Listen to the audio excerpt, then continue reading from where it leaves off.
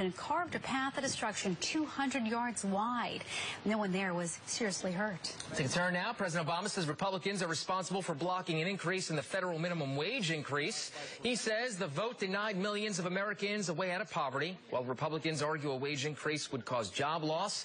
In a vote along party lines, the Senate failed to proceed to a full debate on the issue. And today, a nationwide bus tour calling on lawmakers to raise the minimum wage will make a stop in Raleigh. Organizers of the Give America a Raise tour want the wage to be increased to 10 bucks and 10 cents an hour. The bus pulls into Raleigh right around 2.30. A rally will follow at Martin Street Baptist Church. Also today, coal ash is